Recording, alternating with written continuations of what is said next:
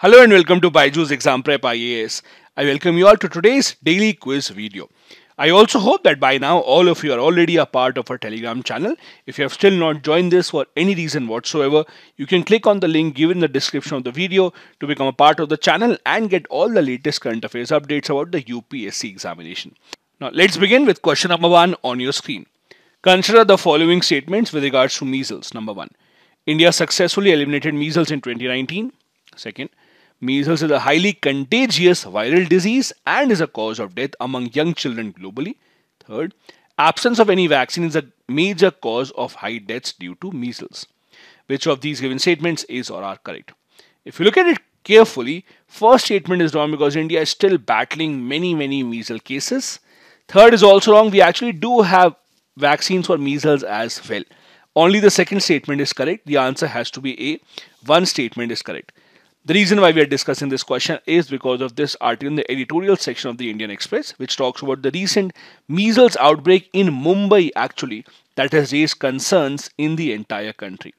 In fact, Mumbai has reported 200 cases in the last two months, and 13 children have lost their lives already. That is why the government of India is now focusing on ensuring that all the eligible children get vaccines against measles in Mumbai. Public health professionals, ASHA workers, etc., now have to fight against the vaccine hesitancy if there is in any part of the country. WHO, UNICEF both have shown that vaccination against measles and these kind of diseases have hit a low in the mid income nations, especially during the COVID 19 pandemic. Next question number two. Consider the following statements with regards to CDRI, that is Coalition for Disaster Resilient Infrastructure. First, it is the Government of India's second major global initiative after International Solar Alliance and it demonstrated India's leadership in climate change and disaster resilience issues. Second, it was launched in 2019. Third, the CDRI Secretariat is based in New Delhi, India. Which of these given statements is or are correct? The correct answer here is D. All the three given statements about the CDRI, Coalition for Disaster Resilient Infrastructure, are correct. This is an article from the Hindu newspaper today that talks about India's role in taking the world forward to fight against climate change. It talks about the Coalition for Disaster Resilient Infrastructure, which was founded by India to promote the resilience of new and existing infrastructure systems against the threats of climate change.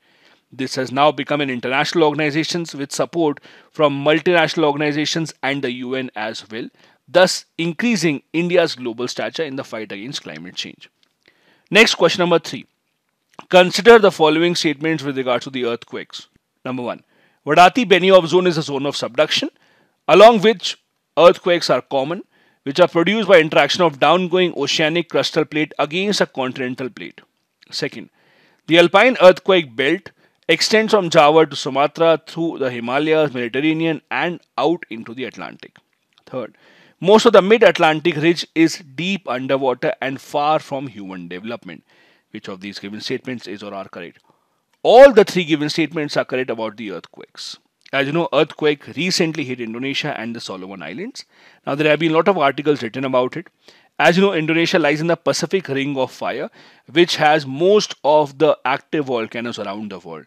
But apart from that, also there are certain other earthquake belts around the world, like the Alpide earthquake belt, which has about 17% of the world's active volcanoes.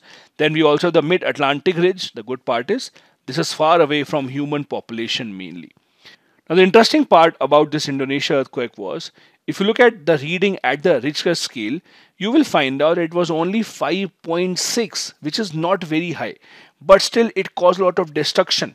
Now, as per the experts, the reason is that the place where the earthquake actually started, the epicenter, was not very, very deep down. It was a very shallow earthquake in the sense that the place where the earthquake started was actually only at a depth of 10 kilometers. Thus, it caused a lot of destruction. So don't think that only a higher reading on the Richter scale would actually lead to more destruction. Destruction can be due to various various reasons as we have seen in Indonesia now. Question number 4. Manx recently seen in the news refers to a recently found dinosaur fossil in Nairobi, an ancient language, SpaceX upcoming mission to land on an asteroid, or India's underwater vessel to explore the deep ocean. The correct answer is B Manx is actually an ancient language that is covered in this article of the Indian Express newspaper. That is, an ancient language which has already been declared dead is now coming back, making an appearance again in Britain's Isle of Down. Now, in the past few years, we have seen a lot of languages that were uh, extinct earlier coming back and people now reviving interest in that. About a decade ago, UNESCO declared the language as extinct, and the students who were studying at the school in this language took a strong exception. And to take the case forward, they even wrote a letter to the UN body in that language, that is Manx. Now, this Manx language is now being seen where people are making signs, writing slogans in this language only.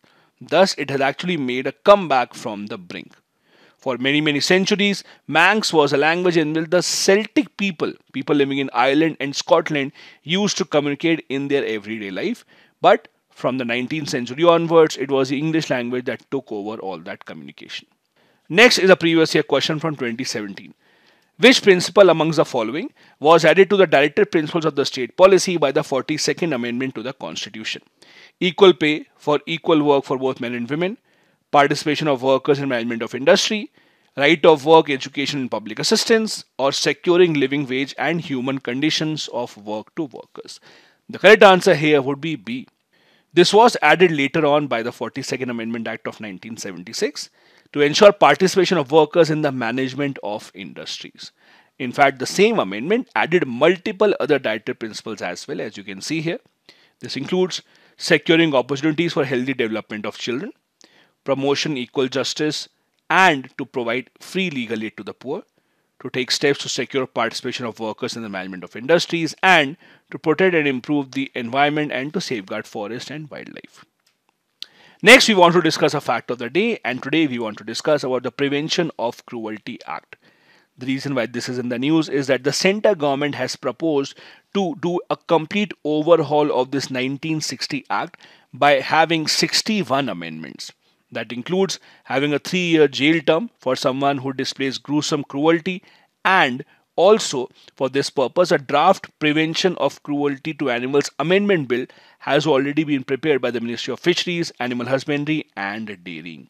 Now, the main changes that have been proposed in this bill is about stringent punishments to be given. Sentences have also been made cognizable, meaning that the arrest can be made without a warrant as well. It also proposes a fine of 50,000 to 75,000 rupees if you cause extreme pain or suffering to any of the animals. Now, there are multiple arguments given in order to strengthen the law. For example, in September, in Rajasthan, there was a case when a doctor tied a dog to his car and dragged it across the entire city. Thus, the dog fractured a leg and also suffered various bruises. These kind of issues, unfortunately, have become more and more common. The bad part is, in the earlier law, first time offenders were only asked to pay a fine of 10 to 50 rupees. This is almost next to nothing. That is why since 2014 there have been calls for amendment. In 2014, the Supreme Court, in the Animal Welfare Board case of India, said that Parliament is expected to make proper amendments to this law and give it a much, much harder deterrent. In 2020, also, a bill was introduced in the Parliament but could not pass.